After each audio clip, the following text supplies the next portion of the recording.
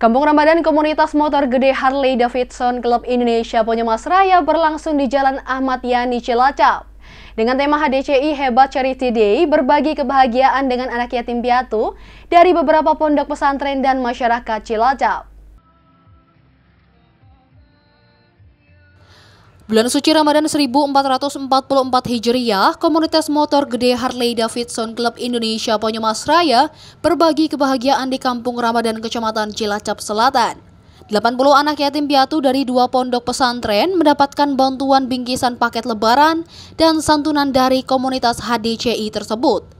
Dengan tema HDCI Hebat Charity Day, 35 stand pelaku UMKM yang menjajakan berbagai aneka kuliner dan makanan diborong selanjutnya digratiskan untuk warga sekitar.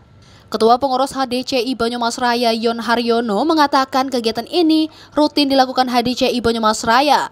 Selain sebagai pemotor touring, kegiatan sosial seperti ini juga rutin kita lakukan. Intinya selain ini menjadi hobi juga bisa bermanfaat untuk masyarakat banyak. Ke depan kegiatan serupa juga akan dilakukan di Purwokerto.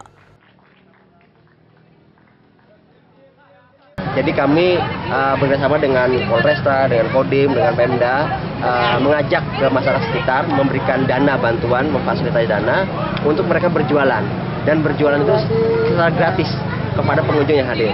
Yang kedua, kita juga mengundang dua panti asuhan, sekitar 80 eh, anak yatim yang kita santuni. Jadi ini rutin ya. Jadi selain kita motoran, touring, kegiatan sosialnya kita rutin. Jadi kita minggu depan kita adakan kegiatan seperti seperti ini di Purwokerto. Jadi eh, prinsipnya kami memang klub hobi, tetapi uh, di situ juga kita ingin bermanfaat buat masyarakat sekitar. Jadi pasti setiap kegiatan kami pasti diselingi dengan kegiatan yang bermanfaat buat masyarakat. Sedangkan Kasat Lantas Poresta Cilacap Kompol Nunung Farmadi mendukung kegiatan bakti sosial yang dilakukan HDCI Banyumas Raya ini. Berharap klub-klub motor yang lain bisa mengikuti kegiatan-kegiatan positif seperti ini dan bisa memberikan contoh tertib berlalu lintas di masyarakat. Uh, terima kasih kegiatan-kegiatan seperti ini kita sangat dukung. Uh, harapan kami seluruh klub motor bisa mengikuti kegiatan-kegiatan seperti ini, bakti sosial, kemudian memberikan contoh yang tertib berlalu lintas di masyarakat.